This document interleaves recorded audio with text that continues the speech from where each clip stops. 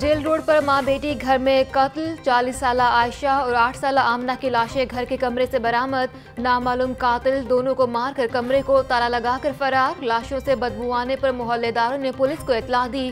بہن سے پانچ روز سے رابطہ نہیں ہوا۔ بہنوئی نے گھر والوں کے ساتھ مل کر قتل کیا۔ مقتولہ عائشہ کے بھائی ابراہیم کا الزام۔ پولیس نے جائے وقوع سے شواہد اکٹھے کر لیے۔ انسانی صحت کے دشمنوں کا فوڈ اتھارٹی کی ٹیم پر چھاپا ٹھوکر نیاز بیک میں ویجیلنس ٹیم نے جعلی کولڈ ڈرنکس فیکٹری پر چھاپا مارا تو ملزم عملے سے الجھ پڑے۔ فیکٹری میں بند کرنے کی کوشش، ملزم فرار۔ فیکٹری سے دو ہزار تیار جعلی بوتلیں اور دیگر سامان برآمد۔ فیکٹری مالکان کے خلاف مقدمہ درج کروا دیا گیا۔ Captain retired Muhammad Usman.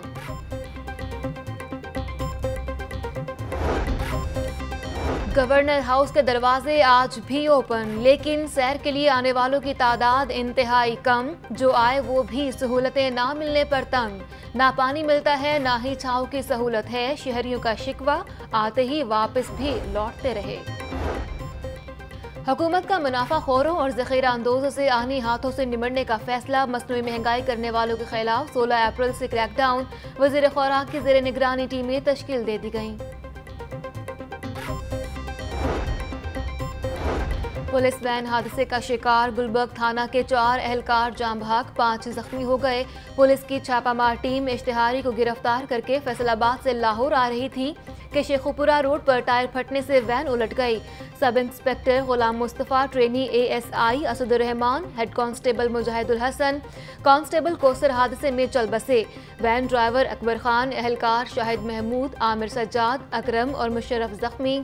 اشتہاری Aslam بھی زخمی ہو گیا۔ جنرل ہسپتال میں زیر علاج۔ جہاں باغ کانسٹیبل کوسر نے پولیس وین میں لفٹ لی تھی۔ ترجمان لاہور پولیس حادثے کی مزید تحقیقات کر رہے ہیں۔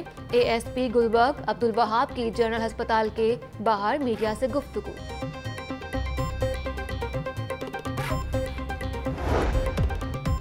اور جشن بہارہ، کیپٹن احمد مبین شہید نیزابازی ٹورنمنٹ کا شاندار آغاز، روایتی رقص اور گردانس کھلاڑیوں کا پہلے مارچ پاس، پھر نیزابازی کا کمال مظاہرہ کیا۔ ٹورنامنٹ کا مقصد شہدہ کو یاد کرنا اور پنجاب کی ثقافت کو اجاگر کرنا ہے۔